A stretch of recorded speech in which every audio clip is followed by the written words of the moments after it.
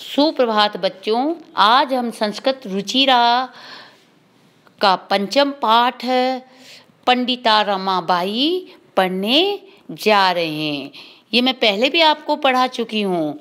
माँ सरस्वती को प्रणाम करो, ये पाठ पढ़ना आसान हो जाएगा। रमाबाई संस्कृति वेदुष्येण पंडिता सरस्वती इति उपाधिभ्याम विभूषित। पंडिता रमाबाई संस्कृति, संस्कृत में सरस्वती की उपाधि प्राप्त थी, उससे विभूषित थी। सा, यानी वह, अठारह तमे खितस्वे जन्म अलभत। अठारह अट्ठावन में उनका जन्म हुआ था। तस्या, यानी उसके पिता। पंडिता रमाबाई के पिता।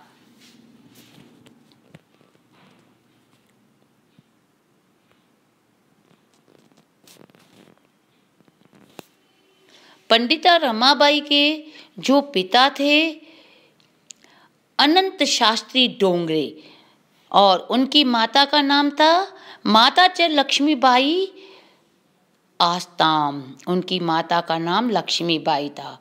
तस्मिन काले उसी समय स्त्री शिक्षा या स्थिति चिंतानीय आसीत।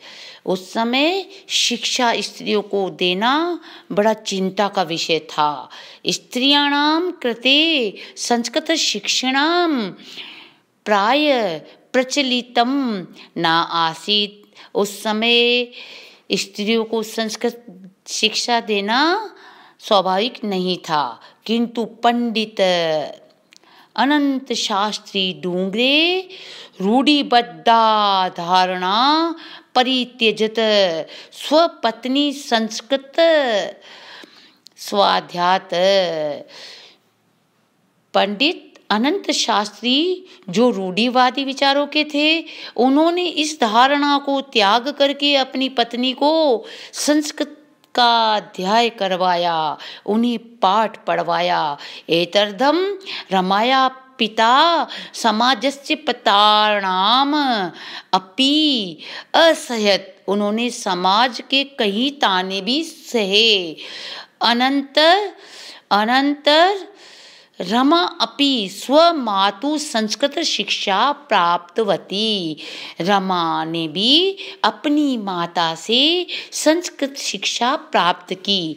बच्चों, इस गद्यांश का हिंदी में अनुवाद प्रसंग सहित कीजिए और कुछ शब्दार्थें उन्हें लिखिए और याद कीजिए। धन्यवाद।